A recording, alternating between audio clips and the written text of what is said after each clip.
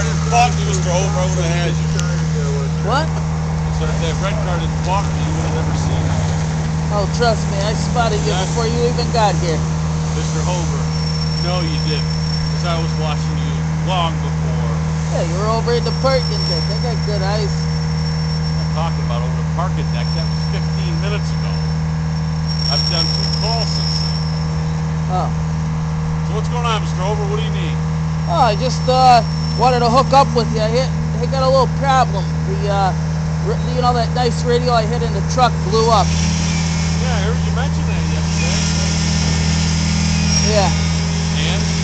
I had to stick the summer camp in the uh, in the vehicle.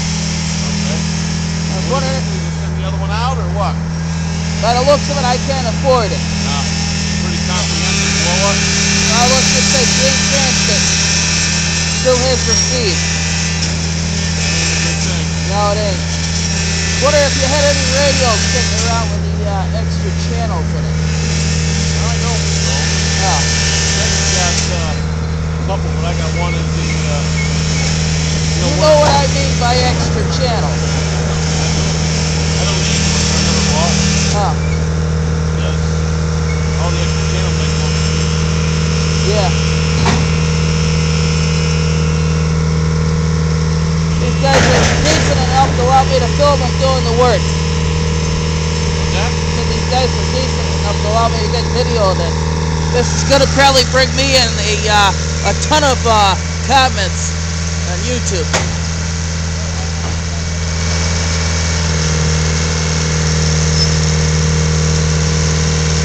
Yeah, I've never seen them drop rail ever.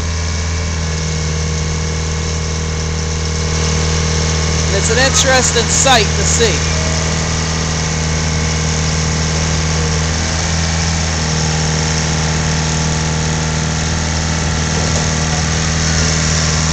Well, how they what they do is they put a plate with two screws into it, the next piece of rail.